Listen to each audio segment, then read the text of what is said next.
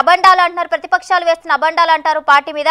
సయ్యద్ రఫీ గారిని అడుగుదాం. రఫీ గారు మీరు చెప్పండి మరి కేవలం వైసీపీ పార్టీ పైన ప్రతిపక్షాల యొక్క అబండాలే తప్ప ఎటువంటి సర్దుబాట్లు దిద్దుబాట్లు లేవు అని మరి సింహాద్రి గారు అంటున్నారు. మీ అభిప్రాయం ఏంటి? నమస్కారం మేడం. నమస్కారం అలాగే అలాగే ప్యానెల్లో ఉన్నటువంటి మిత్రులకి అలాగే సివిఆర్ న్యూస్ వీక్షకులందరికి కూడా శుభ సాయంత్రం. ఇప్పుడు అప్పుడే మనం ఒక నిర్ణయానికి రాకూడదు మేడం. కొంత టైం ఉంది. రెండు రెండు సంఘటనలు జరగాల. రెండు విషయాలు ముందుకు రావాలి. ఒకటి వైఎస్ షర్మిల కాంగ్రెస్ పార్టీ బాధ్యతలు తీసుకోవాలా? రెండు రెండోది ఎలక్షన్ నోటిఫికేషన్ రావాలి. ఈ రెండు వస్త అయితే అప్పుడు వైసీపీ నుంచి వలసలు ఎలా ఉంటాయో ఇందాక మాట్లాడిన వైసీపీ ప్రతినిధి గారు చూస్తారు. అది ఇంకా అప్పుడే ఆ పరిపక్వత రాలా. They are waiting. రెండు విషయాల కోసం.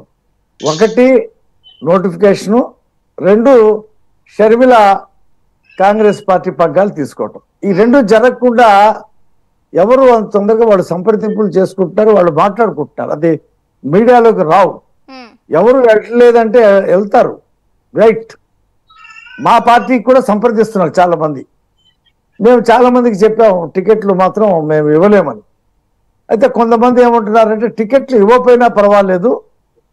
ఈ ఎన్నికల్లో వైసీపీ ఓడిపోవాలి తెలుగుదేశం పార్టీ రావాలి. రాష్ట్ర- రాష్ట్రానికి భవిష్యత్తు ఉండాలంటే తెలుగుదేశం రావాలి మేము తెలుగుదేశంలో పనిచేస్తామని చెప్పేసి కొంతమంది ఎమ్మెల్యేలు మాతో మాట్లాడుతూ ఉన్నారు. వాళ్ళకి కూడా టైం చెప్పాం. వెయిట్ అని ఇంకా మేము వాళ్ళ క్లియరెన్స్ ఇవ్వలేదు. ఒక నేను అనుకుంటున్నాను సంక్రాంతి పండగ తర్వాత ఈ విషయాలన్నీ బయటపడతాయి. మనం చూస్తాం. ఈ వలసల బాట ఎలా ఉంటుందో చూస్తాం. కాబట్టి అప్పుడే ఒక నిర్ణయానికి వచ్చి వలసలు ఉండట్లేదు తెలుగు వైసీపీ నుంచి ఎవరు వెళ్ళట్లేదు అనేది మనం ఇప్పుడే చెప్పలేనటువంటి మాట ఎవరు కూడా చెప్పకూడదు కూడా. రెండోది ఏంటంటే ఆయన సర్వే చేయించాను ఎమ్మెల్యేలు సరిగ్గా పనిచేయట్లేదు ఎమ్మెల్యేల మీద వ్యతిరేకత ఉందని. నేనేమంటానంటే జగన్మోహన్ రెడ్డి సర్వే చేయించాడు ఐపాక్ ద్వారా. సర్వే చేస్తే జగన్మోహన్ రెడ్డి మీదే వ్యతిరేకత ఉందని ఐపాక్ చెప్పింది. ఎందుకంటే ప్రభుత్వం నడిపింది ఆయన విధానాలు తయారు చేసింది ఆయన ఇంప్లిమెంటేషన్ చేసింది వాలంటీర్లు మధ్య ఎంపీలకి ఎమ్మెల్యేలకి మంత్రులకి దాంట్లో ప్రమేయం లేకుండా పోయింది. ఏదో గడప గడపకి తిరగమన్నాడు. ఏదో తిరిగారు మొక్కుబడి తిరుగుళ్ళు తిరిగారు.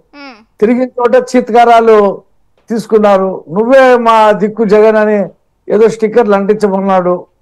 మళ్ళీ why not one seventy five అని చెప్పి ఏదో వాళ్ళకి చెప్పాడు. Why need why needs Jagan అని చెప్పి ఏదో చెప్తా ఉన్నాడు.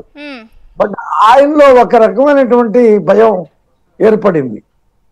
ఈ నా ప్రభుత్వం మీద ఉన్నటువంటి వ్యతిరేకతని ఎమ్మెల్యే మార్చడం ద్వారా కొంత సైడ్ చేయవచ్చు డైవర్షన్ చేయవచ్చు అనేది ఒకటి పెట్టుకున్నాడు.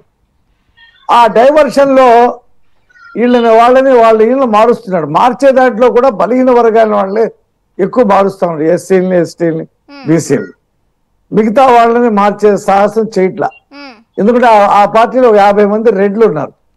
రెడ్ల జోలికి వెళ్ళేటువంటి స్థితి జగన్మోహన్ రెడ్డికి లేదు. ఏదో సర్వే రిపోర్ట్స్ ప్రకారంగా చేస్తున్నానంటే పేర్ని నా పేర్ని నాని కొడుకు ఆ పేర్ని ఆ కృష్ణమూర్తి అదే కిట్టు అంటారు అతను. అతనికి అతని ఇస్తే గెలుస్తాడని ఏ సర్వే చెప్పింది? అలాగే కరుణాకర్ రెడ్డి కొడుకుని ఆ, ఇస్తే అతను గెలుస్తాడని ఏ సర్వే చెప్పింది? అలాగే పిల్లి సుభాష్ చంద్రబోస్ కొడుకుని ఎమ్మెల్యేగా పెడితే గెలుస్తాడని ఏ సర్వే చెప్పింది? ఇలాగా ఐదారు మందికి వారసులకి అతను టికెట్లు ఇచ్చాడు. అతనికి ఏదో చేయాలా ఏదో గందరగోళం చేసి ప్రజల్ని ఏదో ఆకట్టుకోవాలని చెప్పి ఏదో ప్రయత్నం చేస్తా ఉన్నాడు. ప్రభుత్వం